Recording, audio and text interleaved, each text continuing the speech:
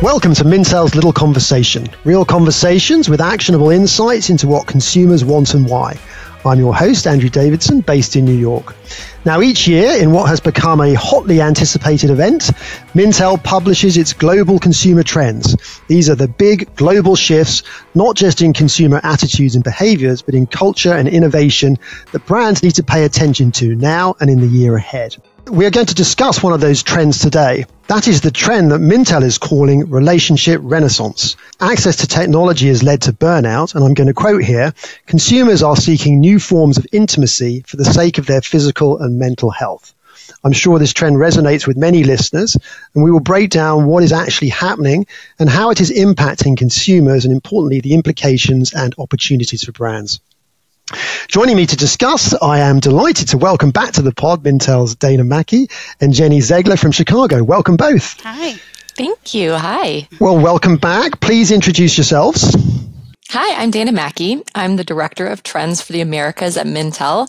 I've been at Mintel. It's my anniversary this month, so start getting your gift cards ready. I've been at Mintel for nine years, nine years October. Woo woo. Uh, that was my my virtual gift card, sound gift card. um, I'm Jenny Zegler. I'm a director on the Mintel Food and Drink platform, and I have been with Mintel for 11 years. And I lead our global annual food and drink trends, and I've done that since 2015.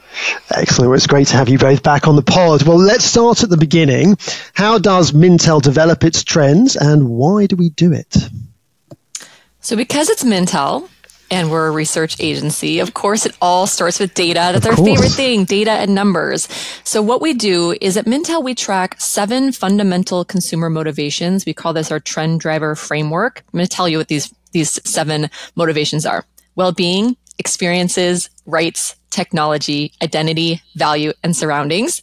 We track sentiment across these different motivations using our Mintel Global global consumer data set. So it's a data set that we track every six months over 36 countries, and we monitor sentiment around these motivations. So as we get to the end, really as we get to the middle of one year, we start looking back mm-hmm. at the past like, two years of this data set to see the things that have changed. Are people feeling differently about their well-being, about advancing technology, about empowerment? And then we kind of have a global, you know, roundtable. We have a staff of in, in-house global trends analysts. We get together and we debate what this means for all of our different regions and all of the different categories that we cover. But of course, you can't only look backwards. You also have to make predictions, right? And we want to give people an idea of what's coming next. So we take that historical view and we pair it with our predictions for what the biggest influences will be globally for the next five years. So we're looking at things like the economy, uh, regulatory environment, advancing technology, and we couple that with our data to kind of give us a better idea of what we think is impacting consumers and brands this year and in the coming years.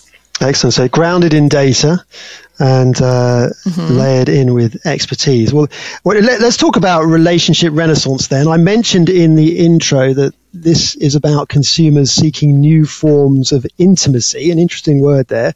So, what do you mean? Yeah, you, really picked up on that word, Andrew. So I think we are going to get into like the semantics of it because it is interesting. Um, but I wanted to share one of the data points that inspired this trend coming out of the pandemic. People have these very broad social groups because we were so connected digitally during the pandemic. But coming out of the pandemic, our data shows that 72% of adults wanted to prioritize their friends, while the remaining 28% wanted to expand their social circles. And that research comes from our report called Americans Social Circles that published last year. So coming out of the pandemic, we weren't really looking to broaden to create more friends, but instead to, to deepen. This is the intimacy part, Andrew, to deepen mm. those relationships and forge these more intimate connections, even when we do meet other people. And I have kind of a niche example I'm going to throw out there for you guys to contemplate. So this was covered in the New York Times the beginning of October. They highlighted an event. It's called the Feels. It's like a singles mixer. It's about 50 people that they invite to get together and get to know each other. These are strangers through eye contact and touch, like hugging and hand holding. So you would sit in a room and hold someone's hands and literally stare at them for several minutes to get to know them better. Now, this is very niche. I'm not suggesting that this is a new a new form of dating that people are really pursuing, but it's an interesting concept, and it does suggest that people are looking for new ways to interact beyond um, Tinder and beyond the regular kind of small talk that you would engage a stranger with. But how can we get to know people at a little bit of a deeper level? And I think a lot of this is coming from all the self discovery that we've been embarking upon over the past three years, especially coming of that, out of the pandemic. And a lot of people taking a second look at their mental health. Um, a lot of people going into therapy. Therapy speak the way we yeah. talk to each other has really mm-hmm. evolved mm-hmm. in the past three years where people are talking about holding space for one another and, you know, um, they, the language has evolved to kind of reflect this new emotional interaction that people have. Mm. Yeah, I think that's also kind of picking apart that idea of intimacy. Um, obviously, that feels a little bit intense, that uh, singles mixer you just discussed. but I think it's also finding ways of reconnecting with the people we love, but also maybe finding new connections. So when I went to a dictionary, like an actual printed dictionary, um, so it's pretty out of date, uh, Merriam Webster Dictionary has a definition of intimate that includes marked by warm friendship such as develop that's developed through long association, such as your friends, um, suggesting informal warmth or privacy, like clubs, and then of a very personal or private nature. And what I think is actually interesting to explore is the other side of the stat that Dana talked about that 28% of US adults who want to expand their social circles. And so we are seeing a decline in organized religion and clubs and places where people would meet new people mm-hmm. somewhat naturally in person. And so I think we are looking for ways to reconnect with people, to meet people, to explore. I think maybe the explosion of pickleball might uh, explain some of that too. You know, it's an activity where you're doing that in person and you can't do that virtually. And I think that's an important part of relationship renaissance that people want these deeper in person connections. I think, uh, Jenny, uh, this is a global audience, so you're going to have to explain pickleball.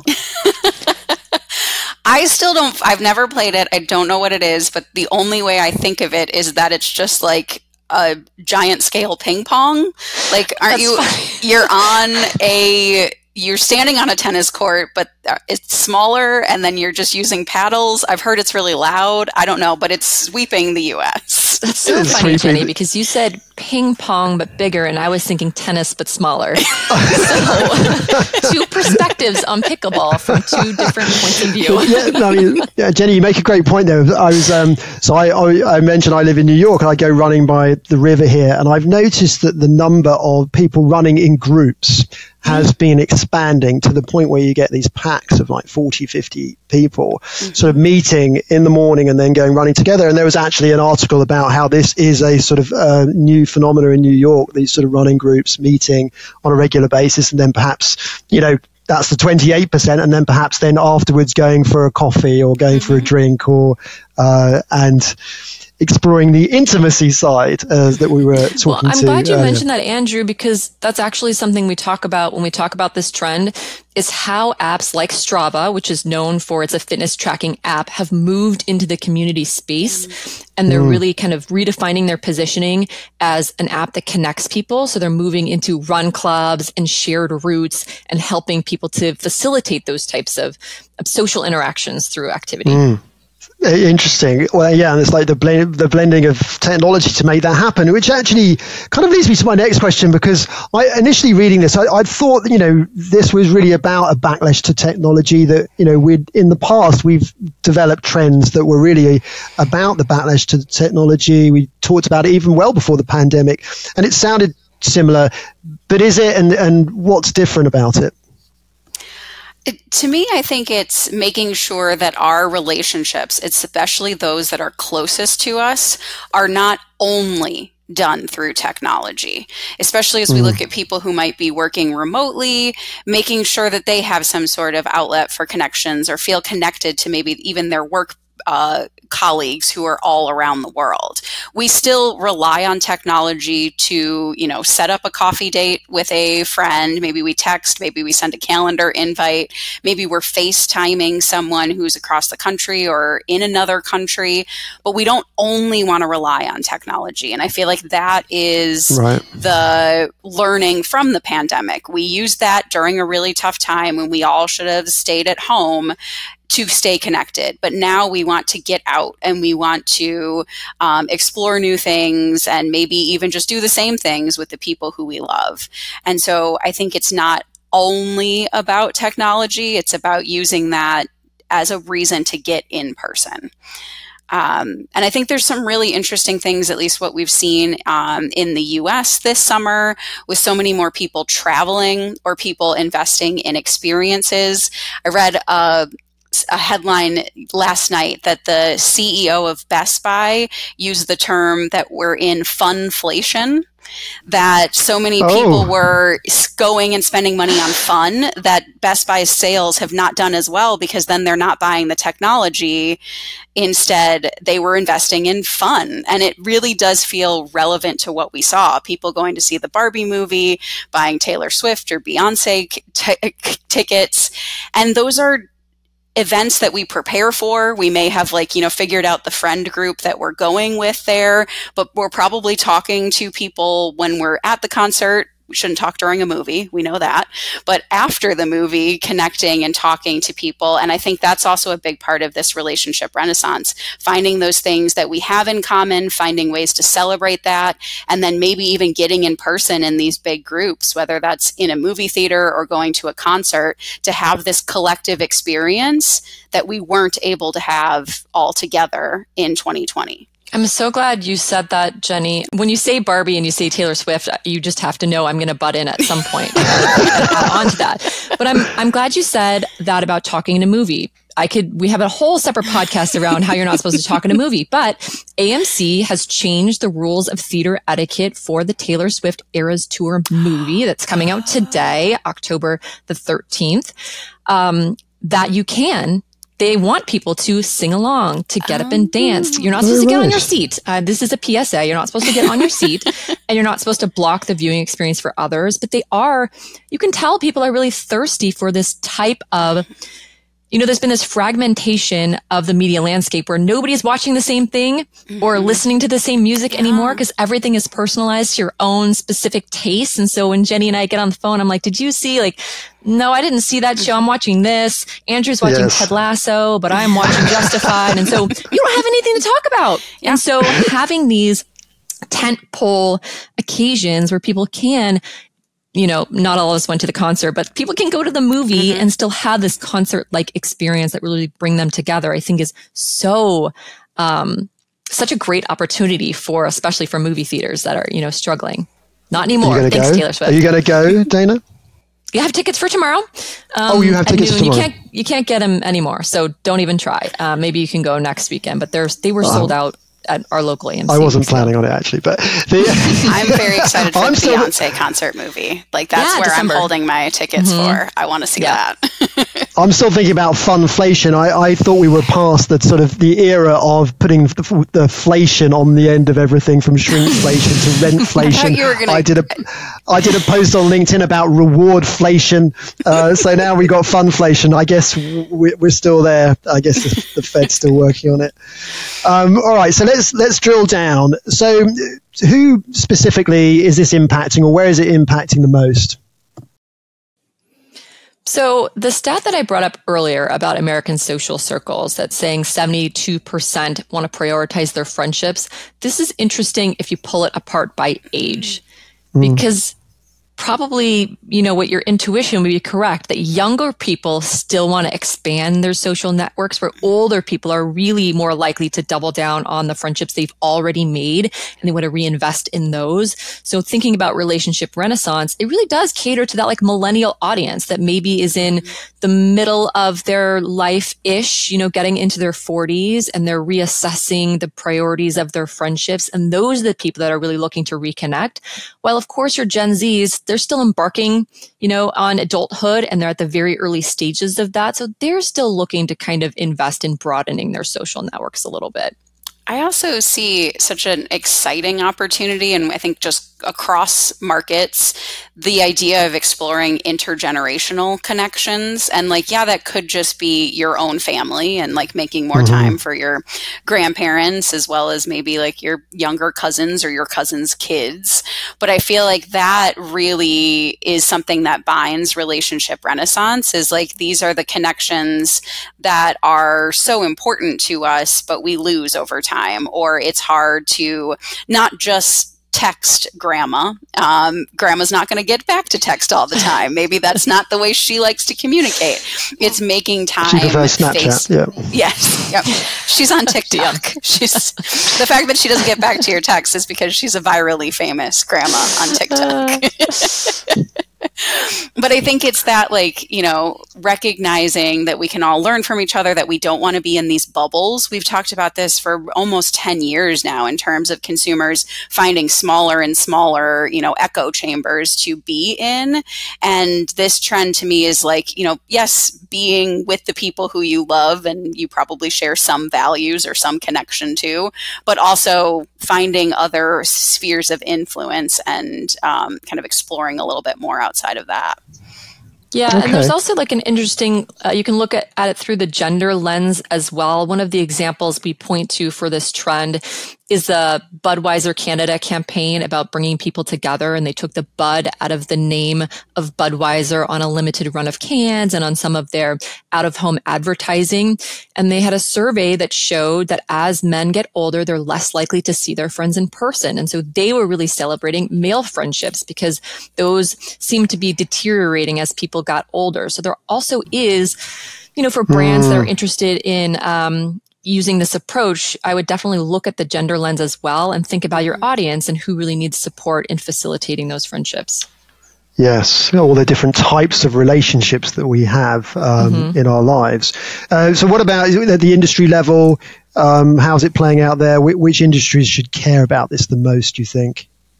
So, I'm going to go back to our trend driver framework and when we looked at all of the different motivations, this trend really felt to us like a well-being trend. This is a new facet of your both your mental health and your physical health. So really any brand company that plays in a well-being space should be thinking about this trend and how they can um, activate against this trend. So food and beverage, of course, but also beauty and personal care. We already talked about leisure, um, entertainment, but also fitness, tech brands. All of those brands should think about their role in connecting people and maybe how they have a spin on wellness that they haven't even considered approaching in their marketing and communications yet part of the reason I'm here is that I feel like food and drink is the natural connection for this trend. like it is. it is like so many occasions around connecting with friends, you know, having a meal with family. It's all about food and drink. And so what I love about this trend is seeing socialization as an extension of our mental and emotional health and recognizing that food and drink is that natural conduit. Asking someone who maybe you met at your run club to go out for a beer to see if you guys could really be friends or, you know, baking cookies to bring to a neighbor who's had a tough time. Like there's so many natural ways of doing this. And I think especially a great opportunity for some brands is to tout their history and their heritage of bringing people mm-hmm. together. Um, Mintel Trends has a great observation about a short film from India that was highlighting chai or tea shops as the original social network. So a place where it's in all of these different neighborhoods, you go to your local one, maybe it is where you're meeting someone to have, you know, to reconnect, to renaissance. Ren, I can't make renaissance a verb. Renaissance um, to to refresh your connection. But it's also where you might you know run into one person in the neighborhood and you guys only see each other at the chai shop. So you've got that kind of short connection. And I feel like food and drink just has such a huge opportunity to be that conduit to help people strengthen their relationships and even make new ones. Mm. And I guess in the ecosystem of food and drink, you know, so many brands and industries sort of connect into that. Mm-hmm. Um, so there are lots of opportunities. Right, so, I mean, you know, we talked about how we develop these trends by looking back, but obviously they're forward thinking. Mm-hmm. Where is it all heading? Are we still going to be talking about this in a year's time, or how how far out are we looking? Uh, where do you think this uh, trend will go? Well, I think what's important to consider for 2024 is that we're heading into an election year in the US, mm-hmm. and usually that leads to divisions. I also heard something from The Economist that said that half of the world's democracies have elections in 2024. So, again, another thing that might lead to some some some issues among people in your lives yeah. potentially. Um, but what I really love about this trend is the prediction for that next period, so the next eighteen months to two years, that individuals don't just want to be cared for; they want to care for others. So I see this as a great way of for brands across categories to really help people show the care that they have for the people in their lives, especially these strong relationships that they want to make sure stay strong. So just making sure to keep in touch, um, you know, just even if it's a special occasion or just to say, I'm, I'm thinking of you.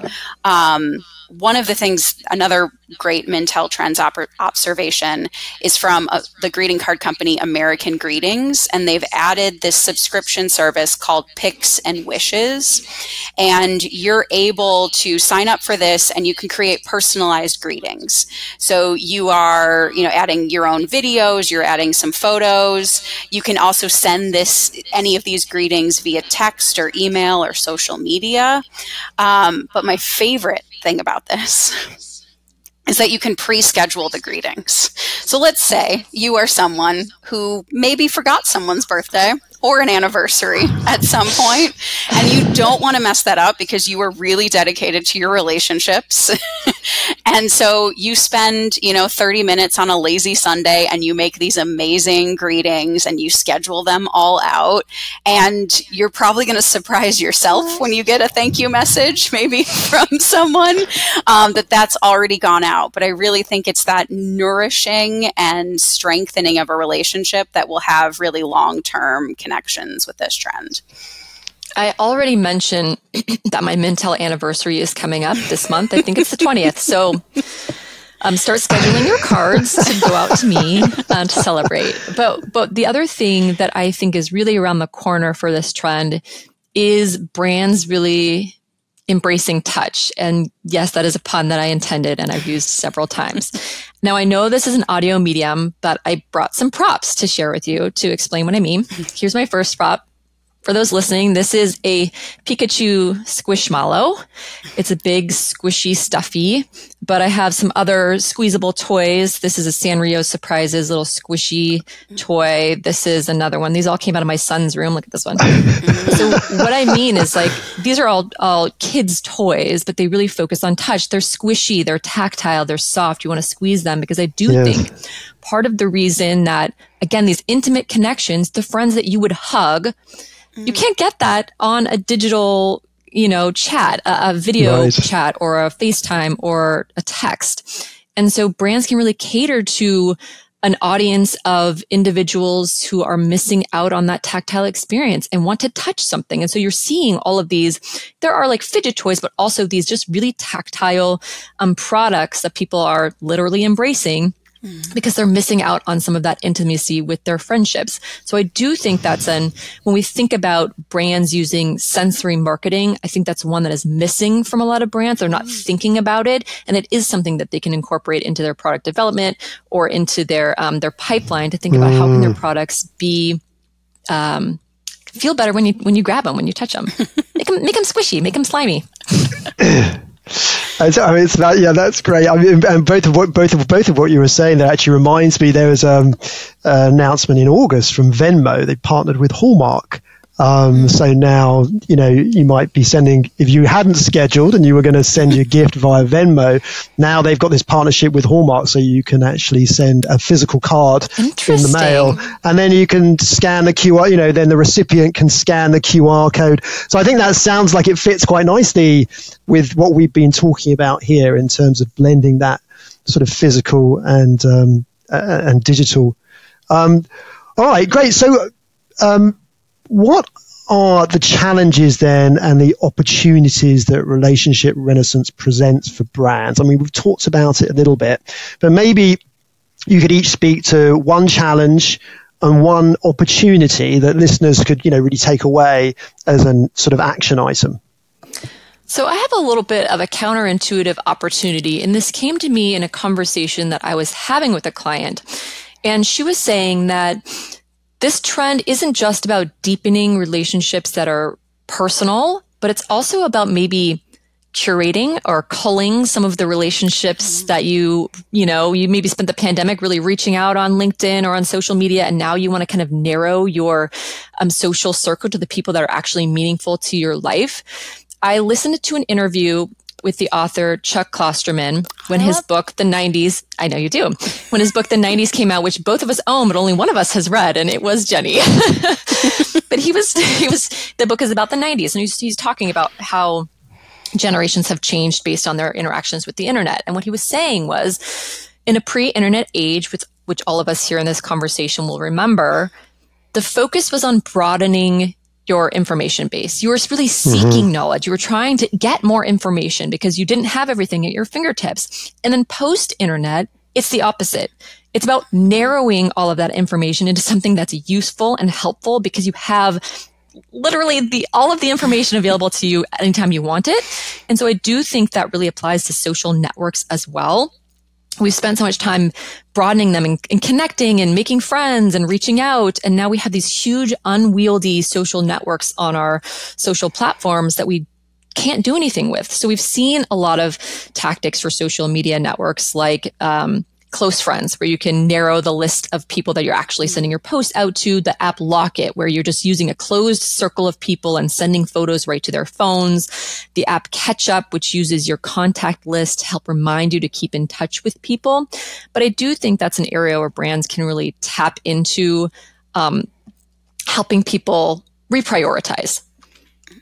In terms of challenges, mm-hmm. this is kind of a challenging one because it takes yeah. work on the consumer end to connect with other people and brands can do the nudging and can do the recommending um, but it really is hard to uh, connect with other people in person and we're out of practice mm-hmm. so what brands can do to overcome this is give some give people something to connect over give them an event to go to like you were saying about barbie movie and taylor swift concert but I do think it also works for CPG categories um, we talk a lot about changing self care to connected care. So thinking about BPC, so the beauty and personal care categories. How can all of those self care rituals that you came up with maybe during the pandemic to take care of yourself, how can you do those things with other people? Face mm. masks and, um, you know, hair treatments or nail treatments, all of those slumber party essentials. how can we get back to um, a format where you're doing those with other people and you're creating again, this is like a, a, vulnerable, intimate space. You're taking care of yourself with another person, but yeah. it's an interesting, um, you know, facet that you could explore. I like the idea that you explored reprioritizing people without blatantly saying cutting people out of your life. Unfollow. oh, I've gotten text message where I just want to just like reply unsubscribe, and I'm like, mm-hmm. you are connected to this person, you are friends with them, you can't say that. um, from my end, one of the challenges I think is the current economy. So, how can you bring people together and help them nurture their relationships with ways that don't require spending a lot of money? Um, again, this is where I think food and drink fits really well. You can share a coffee with someone, you know, mm-hmm. um, and I think brands will have to find that balance, as we saw with a, now, if we want to call it funflation. People want that experiences; they're willing to spend money on these big things, but it could just be that you really miss your best friend and you haven't had some quality time. So you're going to grab some face masks and you're going to sit around and, you know, just enjoy each other's time. Um, not face masks like the COVID face masks, the beauty ma- face masks. I feel like that's um, important to clarify. And actually, we see this. So, our brand new Brazilian lifestyles report um, finds that 36% of Brazilians would like to keep socializing more at home to save money. So, this I think is something that can we provide some inspiration for that. Um, on the other hand, on that opportunity side for relationship mm-hmm. renaissance, I think there's so much potential for creative ways that people can use to make their friends, family, and other close connections feel special. Like we all get so bogged down in the busyness of our schedules, of our day to day lives, and that out of the blue, even if it is just a text, can feel so great. Um, and I feel like I, I flash back to my one of my elementary school teachers who had this box in the classroom um, with little pieces of colored paper that she called warm fuzzies. And anytime that you just wanted a shout out of gratitude or you wanted to say you like someone's sweater but you didn't want to say it, if you wanted to show some um, you know good thoughts, you would put a little note in that warm fuzzies box. And I feel like, as Dana said, sometimes we've lost a little bit of our social social skills. And it takes that little bit of reminder, reminding. And I think as much as it would be great to spend a whole slumber party weekend with your best friends, it also could feel just as equally intimate to be sending them a message of like, I really enjoyed, you know, this or your hair looks great today. Like there's just those little small things that can over time really build into a strong relationship. Excellent. Well, those are great um, actionable uh, chat opportunities and challenges for our listeners to think about. Uh, Dana, how can listeners get access to Mintel's global consumer trends?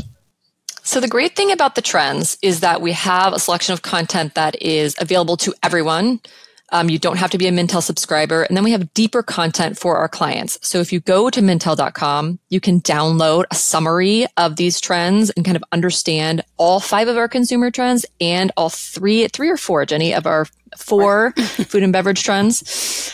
And then for clients, if you go to clients.mintel.com, you can go into your client portal and you can see the deep dive into all of these trends and see some of the data behind them, click through, explore, find out what it means for your audience through the demographics. Um, but a lot of information is available for these and for our beauty and personal care trends as well. So check those out too. Excellent. Well, I've, I've really uh, thoroughly enjoyed this conversation. Three big sort of takeaways from me.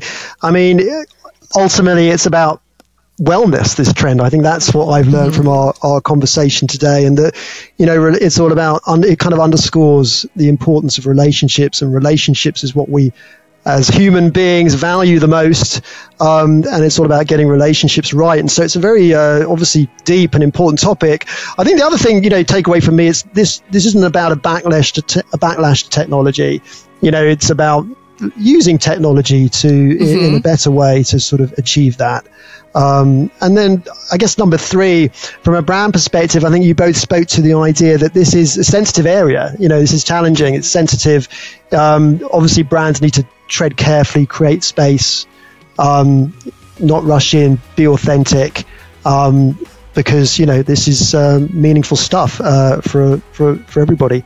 So, all right. Well, thank you, Dana and Jenny. Uh, thank you, everyone, for listening. The conversation doesn't end here head over to Mintel's LinkedIn and Instagram and let us know what you think. We'd love to hear your thoughts. If you want to know more about Mintel, visit mintel.com and sign up to become a member of the free Mintel Spotlight community.